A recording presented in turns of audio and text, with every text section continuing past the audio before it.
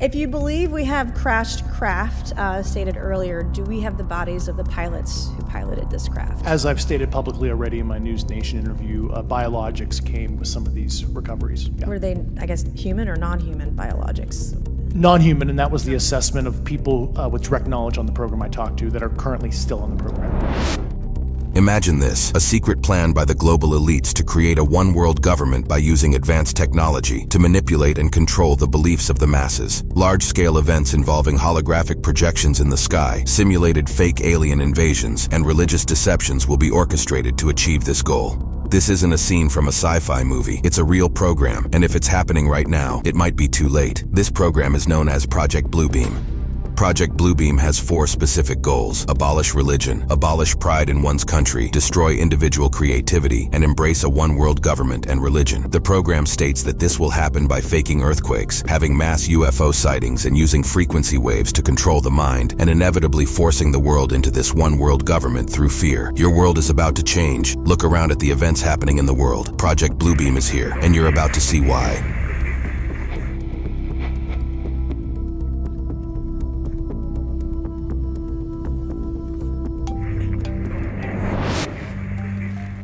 Serge Monast was a Canadian investigative journalist who is often associated with the development of the Project Bluebeam. Monast claimed to have uncovered a secret plan by a global elite to manipulate and control the beliefs of the masses in order to establish a new world order. He wrote extensively about Project Bluebeam and other conspiracy theories, detailing his ideas in various publications. Monast's most well-known work on Project Bluebeam is the book titled Project Bluebeam, NASA and the New World Order. In this work, he alleged that a staged, large-scale event involving advanced technology, such as holographic projections, would be orchestrated to deceive and control the world's population. The goal of Project Bluebeam was to get the entire planet to adopt a single religion and then a single government. Serge was an active member of the Social Credit Party of Canada. He wasn't some random person making up a conspiracy, he was well credited. He asserted that his information came from unspecified whistleblowers and insiders within the alleged secret organizations orchestrating the plan. Monast claimed to have inside knowledge from individuals who were part of the secretive global elite, including those within NASA and the United Nations. In the early 1990s, he started writing on the theme of the New World Order and conspiracies hatched by secret societies, being particularly inspired by the works of William Guy Carr. In 1994, he published Project Bluebeam, in which he detailed his claim that NASA, with the help of the United Nations, was attempting to implement a New Age religion with the Antichrist at its head and start a New World Order via a technologically simulated Second Coming of Christ. The project has four stages in which Serge goes into detail. But first, we have to take a look at the early 1990s, right before Project Bluebeam came around. The early 90s was an interesting time for the United States military. It was the ending of the Cold War, and the CIA during this time with the fight against the Soviets tried implementing a new set of weapons, mind reading.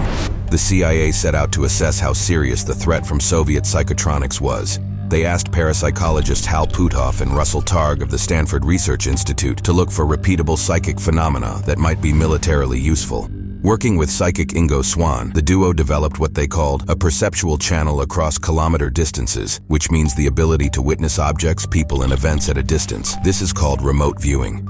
This started the CIA's Project Stargate. Project Stargate focused on investigating psychic phenomena, particularly the practice of remote viewing, where individuals claim to gather information about distant or unseen targets using extrasensory perception, ESP, or anomalous cognition. The CIA hired hundreds of psychic spies. The project continued for more than two decades, officially ending in 1995. During its existence, it involved several researchers and psychics, and its primary motivation was to explore whether psychic abilities could be applied for military military and intelligence purposes during the Cold War.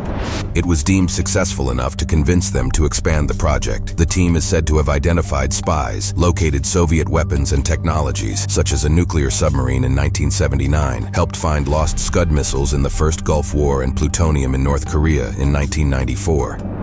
Now, back to the early 1990s, a period marked by shifting global tensions. It was during this time that Serge Monast unveiled Project Bluebeam. At first, the concept sounded like science fiction. However, as Monast detailed the four intricate stages of the project, a realization dawned on people. What seemed like a conspiracy was unfolding right before their eyes. The line between fiction and reality blurred, and for many the unsettling thought lingered, was it already too late?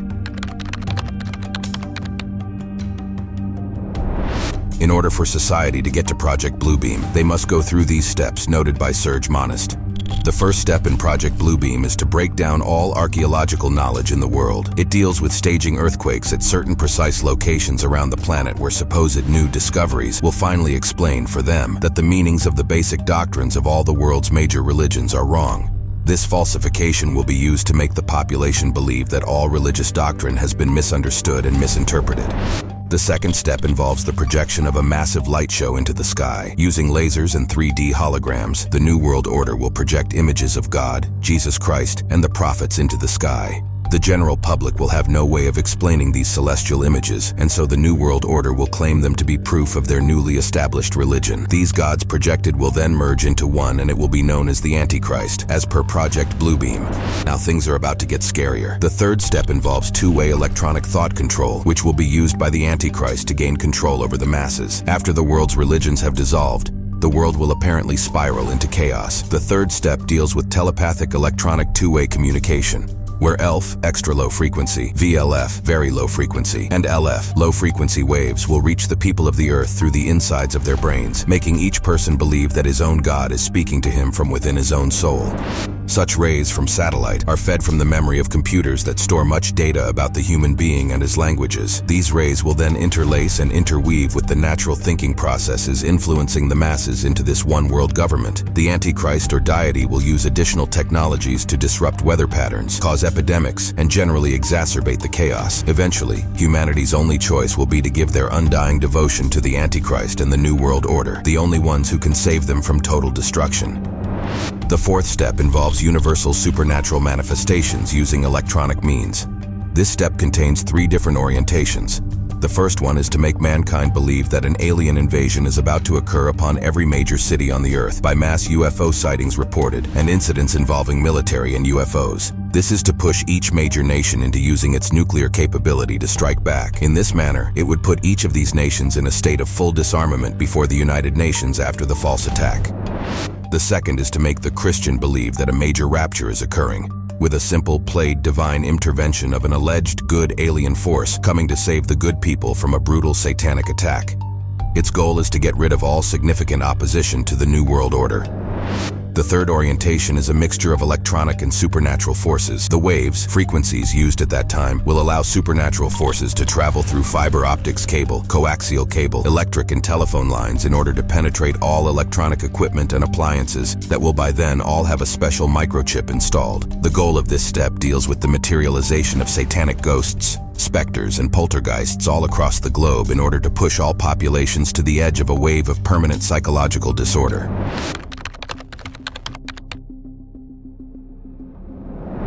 In stage number one, it says Project Bluebeam will be used to make the population believe that all religious doctrine has been misunderstood and misinterpreted and causing general confusion among the masses, then making the world believe in one religion. But in order to achieve this, they would have to make man-made earthquakes. Then they would find new discoveries showing that religion was misunderstood. When we look at the Bible, the general public will think that it's the oldest and most accurate book. But this was changed when the ancient Sumerian tablets were found and significantly changed the dating of the story of Noah's Ark. The Epic of Gilgamesh was found in the mid-19th century and one of the earliest surviving works of literature. It follows the journey of King Gilgamesh as he seeks to become a better ruler and achieve eternal life. A significant episode involves Gilgamesh's quest for immortality, leading him to the last known surviving king Utnapishtim and the only mortal granted eternal life by the gods. Utnapishtim recounts the gods' decision to bring a flood to wipe out humanity his construction of a large boat to survive the deluge, and the eventual granting of immortality. The narrative of the Epic of Gilgamesh significantly changed the narrative of the Noah's Ark story. Project Bluebeam Stage 1 asserts the deliberate introduction of confusion and misunderstanding into archaeological knowledge. The discoveries of ancient texts, like the Epic of Gilgamesh, disrupt conventional religious narratives, prompting us to question the authenticity of established doctrines. These revelations, intentional or not, contribute to the narrative that religious teachings may have been misconstrued over time, and this is what Project Bluebeam tries to achieve. But in order to achieve this, they would have to stage earthquakes also mentioned in Stage 1. When we look at earthquakes around the world, we may think they are natural, but there is evidence showing that we have the technology to start earthquakes. For example, induced seismicity, typically earthquakes and tremors that are caused by human activity, such as industrial processes related to the extraction or injection of fluids into the Earth's crust, causing powerful earthquakes at the location chosen. For the past 10 years, there have been hundreds of catastrophic earthquakes, and most recently September 2023 in Morocco. A magnitude 6.8 earthquake killed more than 2,000 people. Then in February 2023, another catastrophic earthquake hit Syria and Turkey. In stage number two, Project Bluebeam states the projection of a massive light show into the sky. Using satellites, lasers, and 3D holograms, the New World Order will project images of gods, Jesus Christ, and prophets into the sky. The general public will have no way of explaining these celestial images, and so the New World Order will claim them to be proof of their newly established religion. It states that the projection of the gods for each region will be different, and going by what religion is most popular for each place. When this happens, the gods will then merge into one. This one deity will then tell the public that all holy books and scriptures were wrong, and that religion is the reason for wars and chaos in the world. This one deity will then convince the public to step into the new age and embrace what is happening. This deity will be the Antichrist, and will be the real and new religion according to Project Bluebeam.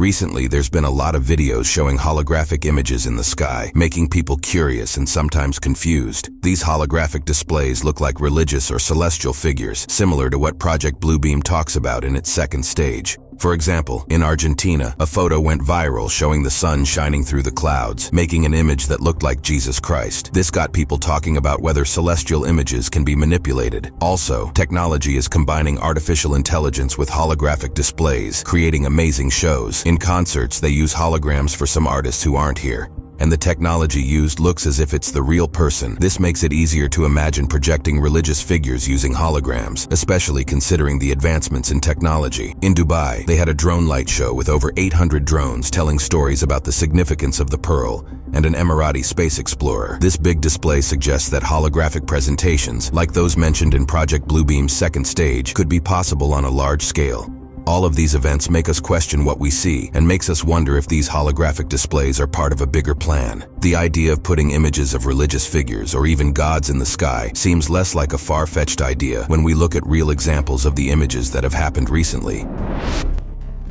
As we move on to number three, things get even more transparent. Stage three involves two-way electronic thought control, which will be used by the Antichrist to gain control over the masses. After the world's religions have dissolved, the world will apparently spiral into chaos. These electronic signals are known as microwaves. These waves can directly affect how we feel and think. Linking electronic thought control to belief manipulation involves understanding the impact of microwave technologies on our emotions and thoughts. Microwaves, the same kind present in devices like mobile phones and Wi-Fi routers, have the potential to influence how we feel and think. Despite being invisible, these electromagnetic waves surround us, raising concerns about their possible use to shape human emotions and thoughts. Project Bluebeam suggests that these technologies could be exploited to control individuals, steering them away from personal choices and values by exerting influence over their behaviors and attitudes. In essence, the concept revolves around the idea that these electronic signals could be employed to direct and mold human cognition in ways that may not align with individual preferences or beliefs. This concept proposes that the Antichrist could potentially exploit these waves to manipulate how individuals and groups perceive things, exerting control over their behaviors and attitudes. In essence, it raises concerns about the possibility of these electronic signals being used to shape and direct human emotions and thoughts in ways that may not align with personal choices or values. Project Bluebeam says that technology will be used to gain access to the individual's brain to make them think and hear whatsoever is needed to be heard for control. The Antichrist will then continue to use microwave technologies to disrupt weather patterns, cause epidemics, and generally exacerbate the chaos among the world to push for a one-world government. Now step 4 is the scariest one of them all, because it might be happening right now, and it may be too late.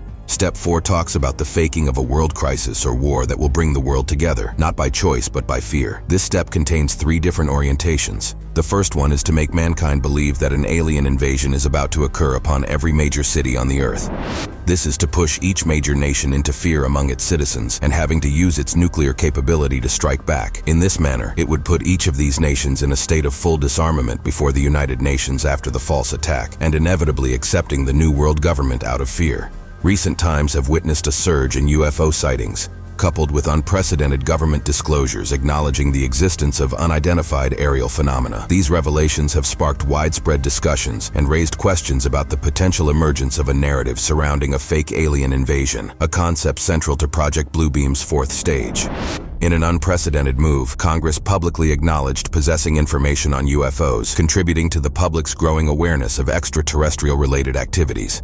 Simultaneously, various videos capturing unidentified flying objects have circulated widely, adding fuel to the speculation about the existence of extraterrestrial life. The entertainment industry has played a role in shaping public perceptions, with numerous movies and TV shows portraying scenarios of fake alien invasions. This media trend, combined with actual UFO sightings and official government acknowledgments, adds a layer of complexity to the unfolding narrative. It prompts us to consider whether these elements align with the predictions laid out in Project Blue Beam, where a staged alien invasion serves as a catalyst for geopolitical and societal transformation. The second part of Step 4 after faking an alien invasion project Bluebeam will use other technologies to scare the rest of the world's population into following this new world order and religion. One of the specific examples mentioned was to convince Christians that the rapture is happening. The rapture for Christians is a term described in the Bible as an event that happens at the end of the world. It states that Jesus will come to earth from heaven and take his worshippers. He will come with angels and other beings to save his followers. At this point, everyone in the world will be affected with major psychosis from the previous stages, and the Antichrist will have full control of the individual. Because of the control, people will want peace at any cost, even if it costed them their life, causing chaos, wars, and fighting among nations. If you don't see this happening right now around the world, look again. By 1995 and 1996, Monast started to tell people that he was being hunted by the police and authorities for involvement in networks of prohibited information. He had homeschooled his two children, who were then taken away and made wards of the state in September 1996 so that they would receive a public education. In 1996, he was finally arrested for spreading misinformation and then he was released after a night in jail. The following day, Serge was found dead in his home with no prior medical problems. The death certificate said that he died of a heart attack in his home. His followers claim his death was suspicious, suggesting he was assassinated by psychotronic weapons to keep from continuing his investigations. Other theories state that he was telling the truth, and Project Bluebeam is a real incident that was supposed to, or if not happening right now, and the government ultimately do what they do best and silenced him. As we reflect on the intricacies of Project Bluebeam and Serge Monast's warnings, it's crucial to approach this narrative with a blend of curiosity and skepticism. While the concept may initially sound like a speculative conspiracy theory, the alignment between certain present-day events and Monast's projections raises thought-provoking questions. In exploring technological progress, we find ourselves surrounded by advancements that once resided solely in the realm of science fiction, such as holographic displays, artificial intelligence. These innovations blur the line between reality and simulation, echoing the projections envisioned in Project Bluebeam's first stage. The global landscape today, marked by global pandemics, political tensions, and environmental concerns, draws parallels with Monast's vision of a staged crisis, ushering in a new world order driven by fear. As we witness these events unfold, it prompts contemplation about the potential manipulation of circumstances for broader geopolitical purposes. UFO disclosures and discussions surrounding extraterrestrial phenomena add an intriguing layer to the narrative. Government acknowledgments, coupled with a surge in sightings and media portrayals of fake alien invasions in movies and TV shows raise the question, could these elements be part of a carefully crafted narrative, as foretold in Project Bluebeam's fourth stage? Information manipulation, a central theme in Monast's warnings, finds resonance in the age of social media and instant communication. The malleability of narratives surrounding historical events and religious doctrines prompts us to question the authenticity of the information we encounter daily. Monast warned of a plan to manipulate religious beliefs, orchestrate a one-world government, and use advanced technology to control the masses. If it's here, do you think it might be too late?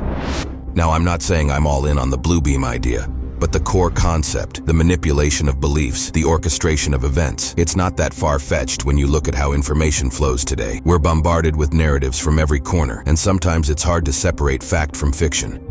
So, I want to thank you for being a part of this journey. Running this channel solo, your support is not just appreciated, it's what keeps this exploration alive. Your presence, your questions, and your enthusiasm mean the world to me. So what are your thoughts? Do you think Project Bluebeam is happening right now? Or could this all be a coincidence? Comment your thoughts, I really appreciate your opinions. If you haven't already, please consider subscribing to stay connected and dropping a like. It truly helps me out. And here's the exciting part. Our journey doesn't end here. There are more mysteries waiting to be unraveled, and I would be honored to have you you as we dive into these mysteries together. So let's keep that curiosity alive, nurture our open minds, and be prepared for whatever unexplained wonders come our way. Until next time, keep questioning, keep exploring, and like I say, remember to always seek the truth.